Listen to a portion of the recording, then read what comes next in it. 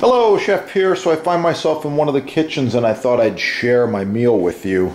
Uh, this time of the year in the United States, uh, deer are uh, overpopulated, as you know. They're everywhere. So, uh, well, a friend of mine gave me this awesome deer tenderloin.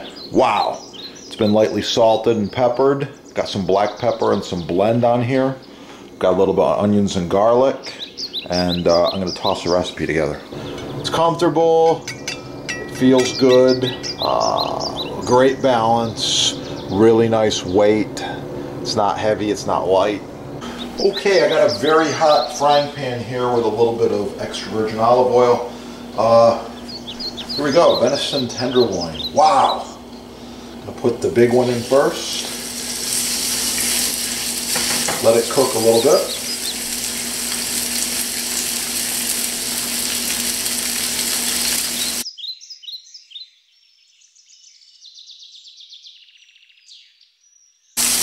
Okay, a few minutes later, as usual, we're going to turn this once, just like this. Oh, yeah, look at that.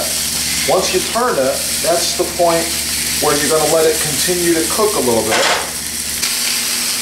Okay, this tenderloin is looking really good. And I'm going to let it continue to cook.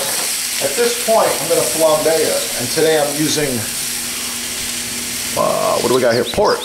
Look at that. A little bit of port on here.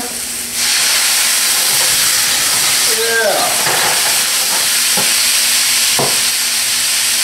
And a little bit of beef stock.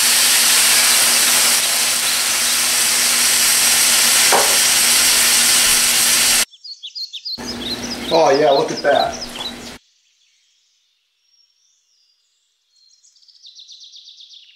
Yeah, you know me, I like a little salt. Pink sea salt, yeah. Woo. Okay. So uh, if you got the herbs, you might as well use them. And I happen to have a little bit of fresh rosemary here. Touch of rosemary. Okay.